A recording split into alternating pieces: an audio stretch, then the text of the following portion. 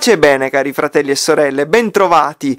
Questa domenica celebriamo la solennità del battesimo del Signore, una solennità particolare.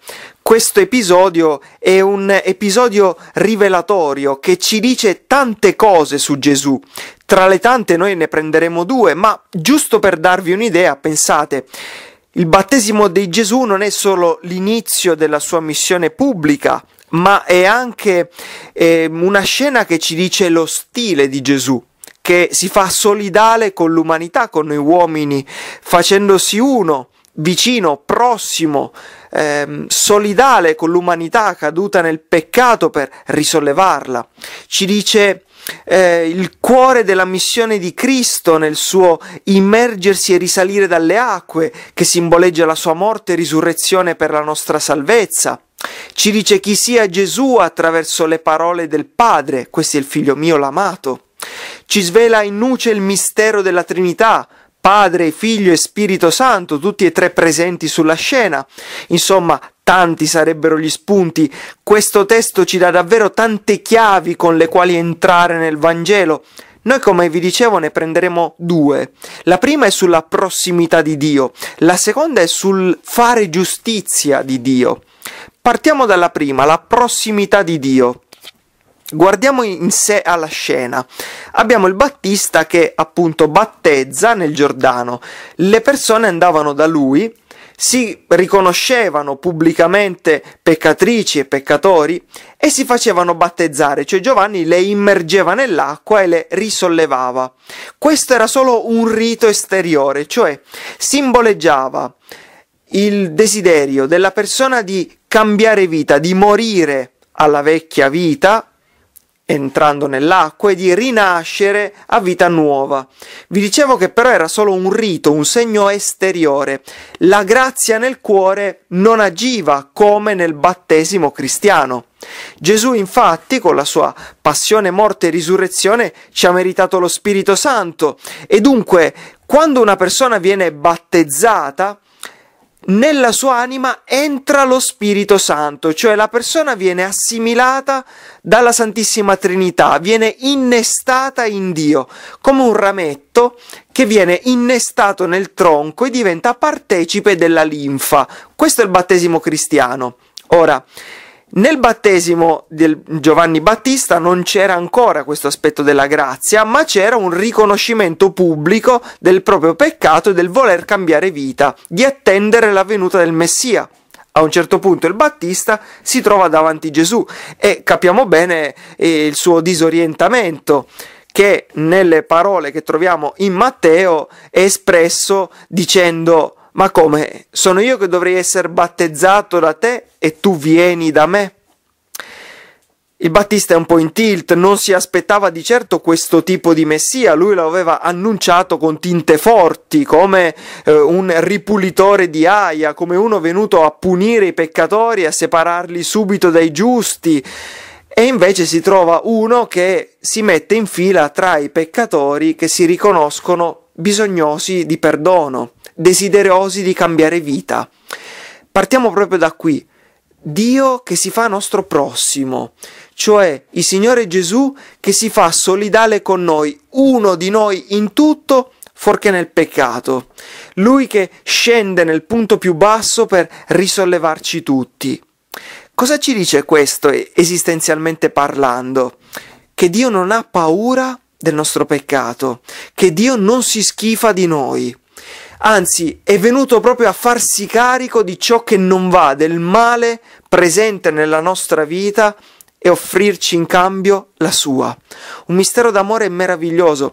Noi tante volte tendiamo a nascondere tutto ciò che non va, che siano imperfezioni, limiti, peccati, abituati a cercare eh, il nostro valore nel nostro riuscire, nel giudizio degli altri, eh, desiderosi di apparire perfetti, eh, adeguati, sempre al top, di ehm, nascondere le nostre mancanze di autostima, eh, quante volte si gareggia nell'aver ragione, quante persone incapaci eh, di chiedere scusa eh, tante volte nascondiamo anche a Dio ciò che di grave abbiamo commesso, il nostro peccato, a volte perché lo banalizziamo, altre volte perché lo reputiamo troppo grande.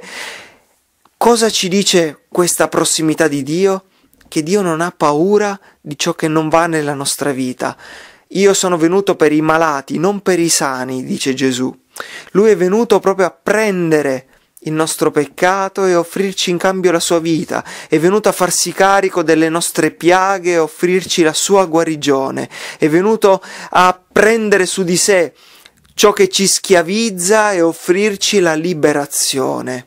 Che bello allora poterci aprire fino in fondo a Lui, lasciarci perdonare da Lui, lasciarci salvare da Lui, uscire dal delirio di autosufficienza, eh, non rimanere rinchiusi nella prigionia di un perfezionismo sterile, non continuare a tenere come si suol dire, armadi pieni di ossa, cioè gli scheletri nell'armadio, cioè nascondere anche a Dio ciò che non va, ciò che è sbagliato, ciò che è il nostro peccato. Dio è più grande, Dio non ha paura del nostro peccato, è venuto proprio per salvarci. Che bello allora potermi lasciare abbracciare da Lui, poter aprire il mio cuore in sincerità e donargli ciò che non va. In fondo è un po' l'esperienza anche che visse un grande santo come San Girolamo, uno che eh, aveva una forte forza di volontà, ehm, uno che eh, offriva a Dio tante cose, ma ancora non aveva forse fatto fino in fondo esperienza di questa tenerezza. E una volta il Signore gli si manifestò attraverso una rivelazione privata e gli disse: Girolamo, cosa mi offri? Ecco, San Girolamo viveva eh, in un eremo, eh, lui una vita molto austera, tradusse la Bibbia in latino, quindi un uomo di grande eh, penitenza. Allora Girolamo disse, Signore, ti offro eh, le mie preghiere, i miei sacrifici. Ehm, e poi Girolamo, e le fatiche che faccio del mio studio per tradurre la Bibbia. Bravo Girolamo. E poi cosa mi offri? E poi ti offro, Signore, tutte le opere buone che faccio. E poi... E poi, Signore, che ti devo offrire più? E il Signore sorridendogli, Girolamo, dammi i tuoi peccati perché io possa perdonarli. Ecco, la prossimità di Dio ci dice che Dio non ha paura di ciò che non va, non si schifa di noi, ma viene proprio per salvarci da ciò che non va, perché ci ama profondamente. Il fatto che Dio si faccia nostro prossimo e cammini con noi ci ricorda anche la bellezza proprio della gradualità, cioè il fatto che proprio nel camminare con noi Dio passo dopo passo ci aiuti a crescere, a migliorare. A volte questa crescita avviene anche tra una caduta e una rialzata, in mezzo alle mille e una lotte che viviamo. Dio ci accompagna nel nostro cammino, ci aiuta a crescere e sa che non siamo degli interruttori, ma passo dopo passo ci porta dove Lui è, come Lui è. Cosa conta che ci lasciamo avvicinare? che non ci chiudiamo nella presunzione di bastare a noi stessi o nell'orgoglio di chi si sente a posto. E poi il secondo punto che vediamo brevemente è sulla giustizia di Dio. Qual è la risposta che Gesù dà al Battista? Lascia fare perché così adempiamo ogni giustizia. Questa è la risposta che Gesù dà al Battista che si rifiutava quasi di battezzarlo. Gesù viene per compiere fino in fondo la volontà del Padre, viene per fare giustizia.